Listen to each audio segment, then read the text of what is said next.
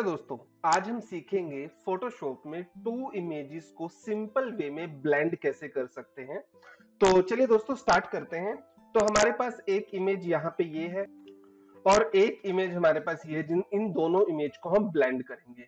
तो हमने इस इमेज को सिलेक्ट किया ड्रैग किया और मैं यहाँ पे ले जाता हूँ। तो इस इमेज को हम सेट करते हैं पहले अकॉर्डिंग टू अपनी इमेज के अकॉर्डिंग उसके बाद ये करने के बाद फिनिश फिनिश करने के बाद आपको क्या करना है? इसको ब्लेंड मोड जो आपको रखना है, वो रखना है स्क्रीन स्क्रीन करने के बाद आप इसे करो मास्किंग ऑन मास्किंग ऑन होने के बाद आप मास्किंग को सिलेक्ट करो इमेज पे क्लिक करें और अप्लाई इमेज पे क्लिक करेंगे। तो यहाँ पे इस पे एक इमेज अप्लाई होगी।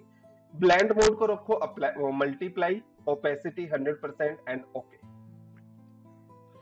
उसके बाद आपको क्या करना है? आपको इस इमेज आप देखोगे दोनों ही इमेज आपस में ब्लेंड हो गई है और हमें जो यहाँ पे शिप का ये पार्ट है, इसको हमें रखना है थोड़ा सा ओरिजिनल वे में तो हम इसको सिलेक्ट करेंगे, अपना ब्रश सिलेक्ट करेंगे और यहाँ से हम ब्लैक कलर सिलेक्ट करेंगे और आप इसे इसके ऊपर ब्लैक कलर से इस तरीके से कर सकते हैं ताकि ये ओरिजिनल यहाँ पे दिखाई दे।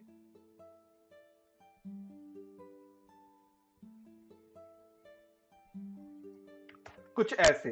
अब आप देखोगे, इस तरीके से आपका इमेज यहाँ पे ब्लेंड हो गई है। दो इमेज आपस में मिल चुकी हैं तो जिससे काफ़ी ज़्यादा कूल इफ़ेक्ट आपको नज़र आ रहा है।